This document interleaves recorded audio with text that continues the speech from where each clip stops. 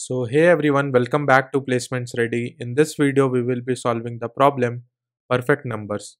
So we are given a number n, check if a number is perfect or not. A number is said to be perfect if sum of all its factors excluding the number itself is equal to the number. Return 1 if the number is perfect, otherwise we need to return 0. So for example, if n is equal to 6, the factors of 6 are 1, 2, 3 and 6. So sum of every number except that number itself. So which is going to be 1, 2, 3. So the sum is going to be 6. So 6 is equal to 6. So we will be returning 1 here. Similarly for 10, the factors are 1 to 5 and 10. The sum of 1 to 5 is going to be 7 which is not equal to 10. So we will be returning 0. The expected time complexity for this is square root of n and the expected auxiliary space is going to be order of 1. So here if you observe n can be up to 10 to the power 12 so we need to do it in square root of n. So let's discuss the problem in more detail. So let's say my number is 6. So what are its factors 1, 2, 3 and 6.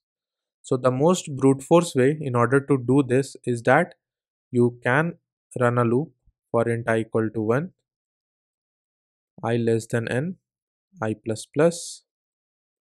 And you can simply check if n is divisible by i. So we can use a sum basically and add up all the i's and we can in the end just check sum is equal to n or not. Okay? But this will be taking a order of n time. Right? But we need to optimize this so how can we optimize? So let's observe some patterns. So let's say 6 is my number. Its factors are 1, 2, 3 and 6. Okay. And square root of 6 is around 2 and 3. So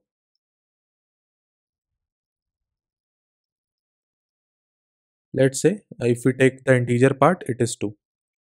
Similarly for 36, what are its factors? 1, 2, 3, 4, 6, 9, 12, 18 and 36. Okay. So now what we can do? If we observe 6, we can have a for loop. Basically, it will be running from nothing but 2 because we know 1 is the factor of every number. So we can start our for loop from 2. Now in the for loop what we can do? We need to do that in a square root of n time.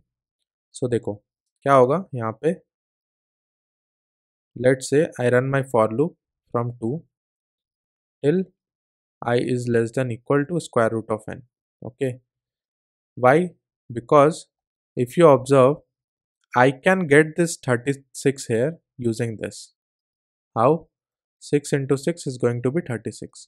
So if you write all the possible multiplications, how can we get a 36?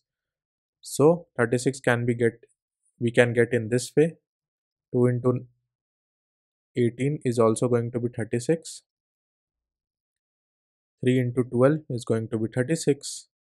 Similarly, 6 into 6 is going to be 36 and 9 into 4 is going to be 36 as well. Here also 4 into 9 is going to be 36 right? And finally the numbers will now repeat correct?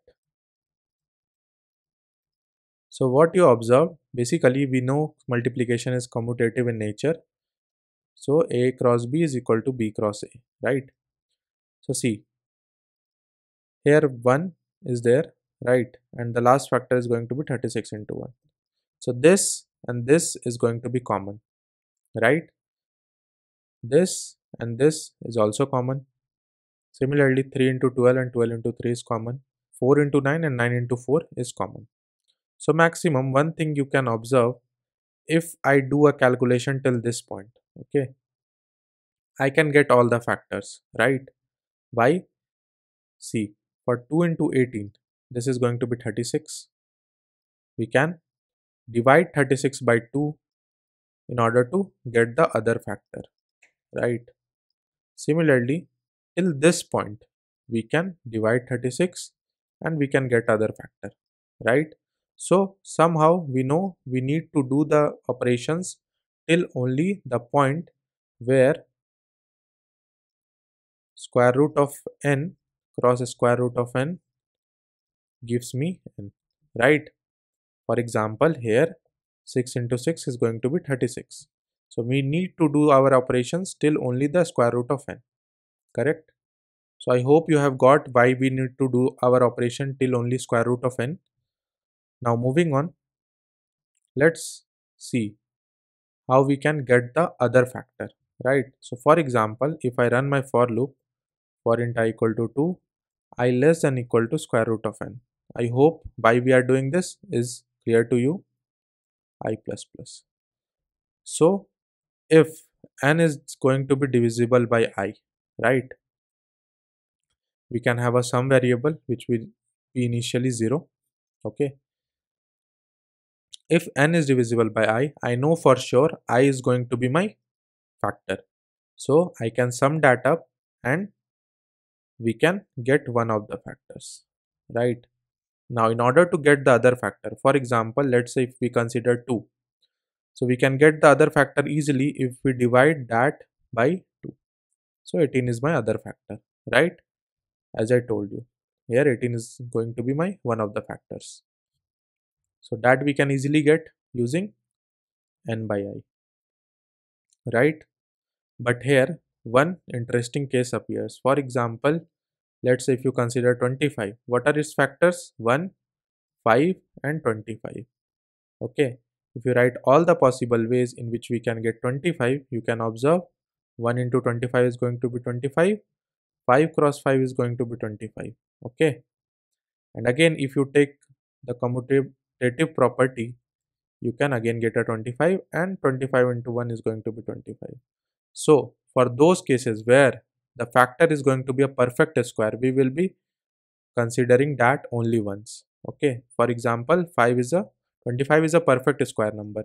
So in this case 25 divided by 5 is going to be 5 itself right? So if we can tell basically the case where i cross i is going to be n right? That will be the case of a perfect square number. So in that case we can check if i is not equal to n by i right? We can sum that up only once. Correct? In the end we will be getting the sum of all the factors. So what we can check? We can simply check if n is not equal to 1 and whatever with the sum we get is equal to n right? We can return a true otherwise we can return a false. By true i mean return 1 and here return 0 okay? So in this way we can solve our problem. Basically if n is going to be 1 which means n is going to be divisible by 1 itself so we will not be considering that. So it is written in the problem you don't have to take that number as the factor. Okay so we will not be considering 1 if n is equal to 1 okay and in this way we can solve our problem. So let's do a try run. Let's say 36 is going to be my number. So i know for sure 1 2 3 4 6 9 12 18 and 36 is going to be the numbers right? Now for 36 you know we will be starting our iteration from here. So sum will be initially 0 okay? And we will be adding up 2 because 36 divides 2 so sum will be 2 and we can get this number right by dividing that. So 2 plus 18 and we go to 3 we sum that up. Since 3 into 3 is not equal to 36 we can take this up so we can take this 12 we go to 4 we sum that up 36 divided by 4 is going to be 9 we add it we go to 6 now this is the case of perfect square numbers So in that case, we will be taking 6 only once. So what, what is the sum? 2 plus 18 is going to be 20, 23, 12, 35, 4, 39 plus 9 is going to be 48 plus 654. So since 54 is not equal to 36, we will be returning a false. Correct?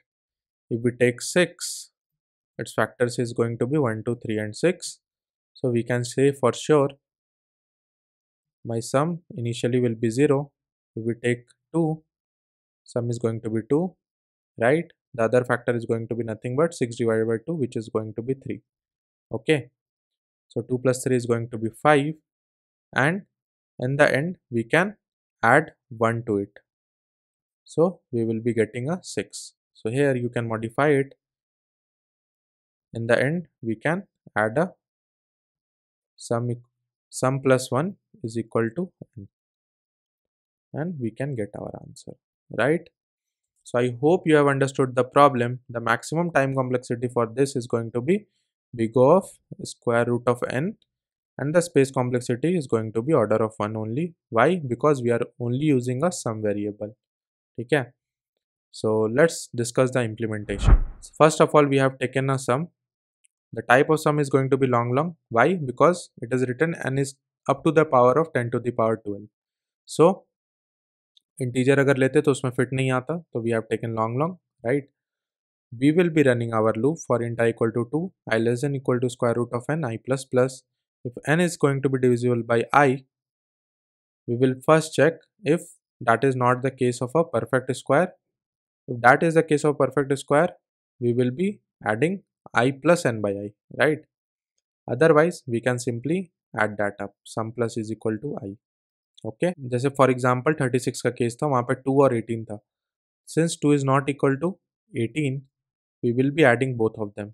Right right? वही कर रहे थे first और last वाले को add कर रहे थे बट अगर सिक्स आता since six is equal to thirty six by six okay so we will be adding that up only once so that is the code and in the end we can simply check if n is not equal to 1 and sum plus 1 is equal to n why because we have started our sum from 0 and we know for sure that 1 is going to be the factor for every number so in the end we can return this so I hope you have understood this problem. If you have any doubts, write it down in the comments. Do like this video if you have understood, share among your friends and don't forget to subscribe the channel. Thanks for watching guys.